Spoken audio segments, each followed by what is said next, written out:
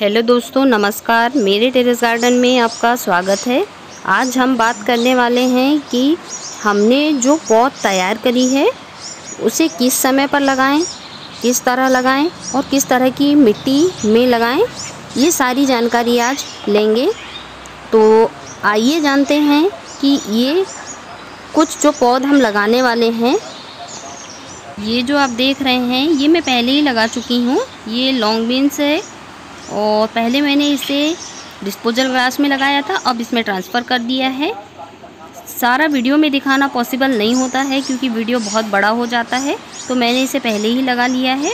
लेकिन एक बैग में तैयार करके ज़रूर दिखाऊँगी, और आज मैं ये दिखाने वाली हूँ कि ज़रूरी नहीं है कि आप गमले में ही लगाएँ, तभी पौध तैयार होगी, या फिर हमारी सब्ज़ियाँ उगेगी। गमले की बिल्कुल ज़रूरत नहीं है, इस तरह के बैग में भी आप तैयार कर सकते हैं। ये देखिए, मैंने मूली लगाई है। ये काफ़ी बड़े बैग होते हैं और एक सीज़न में आराम से चल जाते हैं। ठंडी की जो सब्ज़ियाँ होती है, उसको आप इस तरह से ग्रो कर सकते हैं, लगा सकते हैं। सीजनल जो भी फूल हो या सब्ज़ियाँ हो, आप इस तरह से लगा सकते हैं। ये देखिए, ये मैंने मिर्च लगाई हुई है। अभी अभी छोटी पौध तैयार करी थी और इसी से मैंने इसको लगाया है।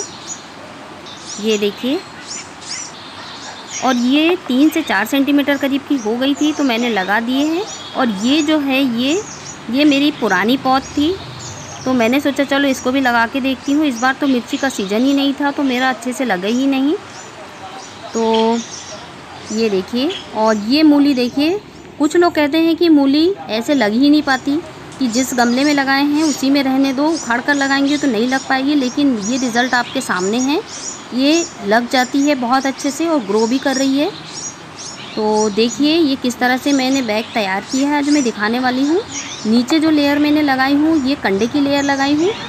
इसकी एक महीने में बहुत अच्छी खाद बनकर तैयार हो जाती है और हम इसमें जो भी पौधे लगाएँगे, वो नीचे से ही जड़ के द्वारा पोषण ले लेंगे तो ये बहुत ही अच्छा होता है। इस तरह से एक लेयर आप कंडे की लगा दीजिए। उसके बाद ही मिट्टी डालें और ये देखिए और इसमें ड्रेनेज करना बिल्कुल ना भूलें। ड्रेनेज होल होना बहुत ज़्यादा ज़रूरी है। तो ये जो मैंने मिट्टी तैयार करी है, इसमें मैंने सिक्सटी परसेंट मिट्टी ली है और फोर्टी परसेंट करीब गोबर की खाद या वर्मी कंपोस्ट आप डाल सकते हैं। ये देखिए कितनी बढ़िया भुरभुरी मिट्टी बनकर तैयार हुई है और इसमें आप थोड़ी सी नीम की खली और थोड़ा सा फंगिसाइड डालना ना भूलें, ये ज़रूर डालिए आप। तो चलिए इसमें बैग में मिट्टी भर लेते हैं और ये ध्यान रखिए कि मिट्टी आप थोड़ा दबा दबा कर भरें, अच्छी तरह से एयर नहीं होनी चाहिए, वरना आपका पौधा भी ख़राब हो सकता है। तो थोड़ा अच्छे से प्रेस करके दबा के भरें तो ज़्यादा अच्छा है।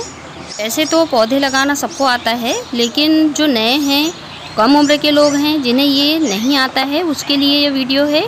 अधिकतर लोगों की परेशानी यह होती है कि कुछ लोग कहते हैं कि पौधे लगाने के बाद या तो ग्रोथ नहीं होती है, ये सूख जाते हैं तो इसकी वजह ये होती है कि आप ज़्यादा पानी दे रहे होते हैं या फिर जो मिट्टी तैयार की है वो सही नहीं की है, या फिर आप बहुत छोटी पौध लगा रहे हैं।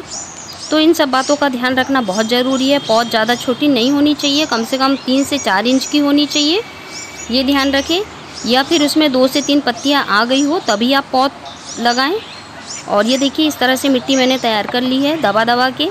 बिल्कुल भी एयर नहीं होनी चाहिए। और इसमें मैं आज भिंडी लगा के आपको दिखा रही हूँ।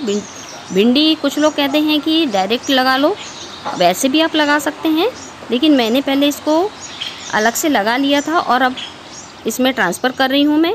ये देखिए तो इसमें ये जो बैग है तो इस बैग में मैं तीन पौधे आराम से लगा सकती हूँ। कई बार ये होता है कि पौधे पूरे नहीं लग पाते हैं तो थोड़ा एक्स्ट्रा ही लगाएँ। कुछ पौधे सूख भी जाते हैं। तो मैं इसमें तीन पौधे लगा रही हूँ। ये देखिए, ये दो से तीन पत्ती इसमें आ चुकी है और बस ये अभी लगाने के लिए रेडी है। तो इस तरह की पौध आप लगाएँ। तो आपकी पौध कभी नहीं सूखेगी, बहुत अच्छा पौधा तैयार हो जाएगा। ये बैग तैयार कर रहे हैं। इसमें पौध की हाइट के हिसाब से ही मिट्टी डालें। जैसे जैसे पौधा बढ़ते जाएगा, हम उसमें मिट्टी ऐड करते जाएँगे। क्योंकि पौधा बड़ा होगा तो उसको सपोर्ट की भी ज़रूरत होगी तो हम मिट्टी फिर डालेंगे। और पानी देते समय विशेष ध्यान दें कि पानी बहुत आराम से धीरे धीरे देना है, वरना अभी आप पौधा लगाए हैं तो उसकी जड़ें जम नहीं पाएगी और पौधा लुढ़क जाएगा। तो आपको इस बात का ध्यान ज़रूर देना है कि आप ये देखिए इस तरह से। ये जो है, ये लुढ़क जाएगा इस तरह से। इसको यदि ऐसा हो रहा है तो आप इसमें मिट्टी डाल के सपोर्ट दे दें इस तरह से।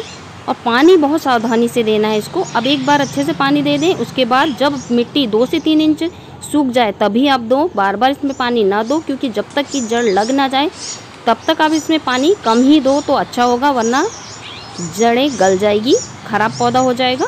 कुछ और पौधे भी तैयार किए हैं। ये देखिए, ये बहुत छोटे हैं गिलकी है ये। अभी निकल ही रही है तो इसको लगाने में थोड़ा अभी समय है।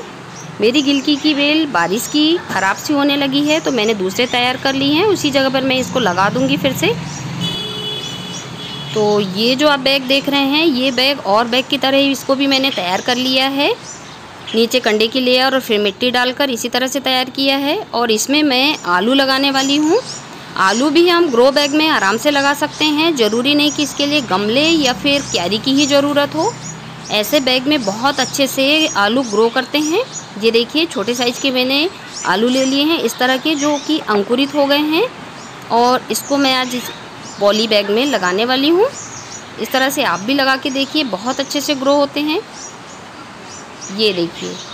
और इसके लिए आप मिट्टी कम ही रखें अभी। जैसे जैसे पौधा बढ़ेगा वैसे वैसे हम इसमें मिट्टी ऐड करते जाएँगे। आलू को आप ज़्यादा घना ना लगाएँ, बस इतनी इतनी दूरी पे जैसे मैं लगा रही हूँ, ऐसे ही आप लगाएँ। ये देखिए, और अंकुरन को हमेशा ऊपर की तरफ़ रखें, ताकि ये आराम से उग के बाहर आ जाएँ।